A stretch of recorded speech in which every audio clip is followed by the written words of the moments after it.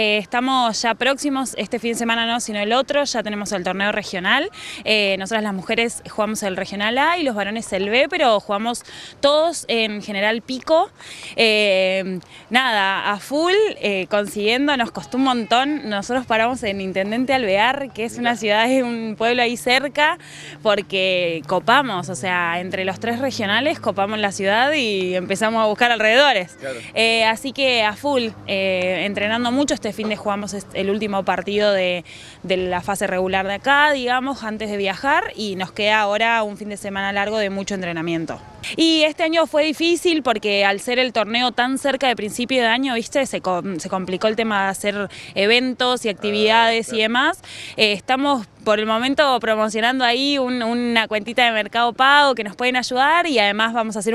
varios sorteos de algunas empresas que nos han colaborado y, demás como para sortear entre los que nos ayuden. Eh, todas las chicas del plantel superior y los chicos también de, caballeros estamos ahí promocionando eh, como para colaborar con, un bonito contribución sería o algo así, eh, porque todo ayuda,